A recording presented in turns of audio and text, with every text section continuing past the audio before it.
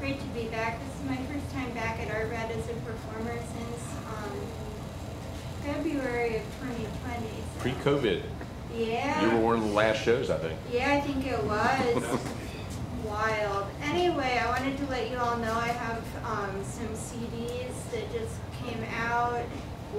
Solar Hex, and then I have a bunch of cassette tapes from my old band Graven Image, which you all might remember.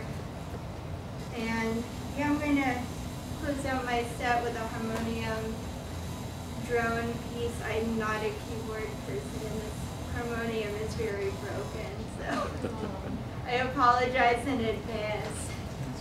It's a prepared harmonium. Exactly.